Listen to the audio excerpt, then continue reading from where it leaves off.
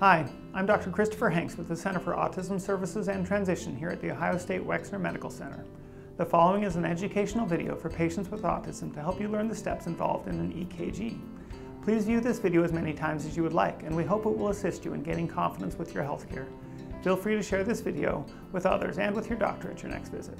Visit our website for tip sheets and more information. Hi Max, my name's Lori, and we're going to do an EKG today. Today, the doctor has ordered an electrocardiography, or an EKG. An EKG is the process of recording the electrical activity of your heart over a period of time using electrodes placed on your skin. This is a simple test and will not hurt. During the test, you will lie on the exam table and relax. The medical assistant does all the work. If you have any questions or would like a family member or friend to be in the room with you, just ask. And remember, you can take a break as needed. Just tell the nurse.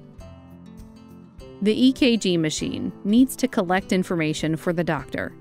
To do this, you will need to lie still as much as possible. You can count or use a timer if that helps. Remember, the goal for an EKG is to hold still for 30 seconds. The machine will record the information and print a piece of paper called a reading for the doctor to look at to make sure your heart is healthy. There are many wires that are used during the procedure, and some of these may be laid on your chest. They are not heavy. During the EKG, you get to wear a gown. You will need to take off your shirt, and girls will need to remove bras as well. The gown needs to be open in the front. If this feels uncomfortable, you can ask the nurse to keep your chest covered up as much as possible.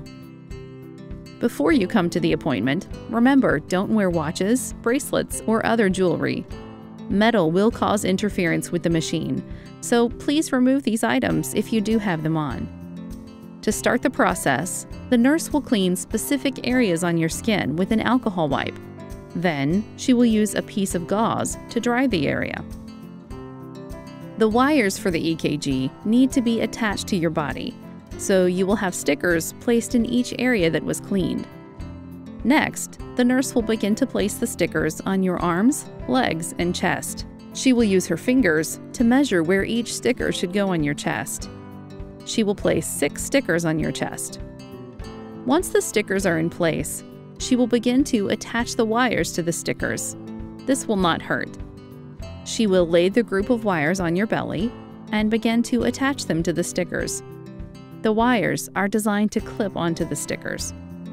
Remember, you can ask to take a break at any time.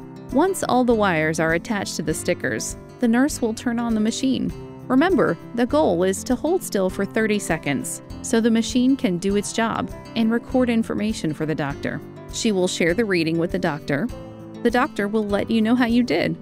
Once you are finished, the nurse will begin to remove the stickers. You can also help remove the stickers if you want. You can take them off slowly or fast, your choice. For more EKG tips and information, make sure you visit the website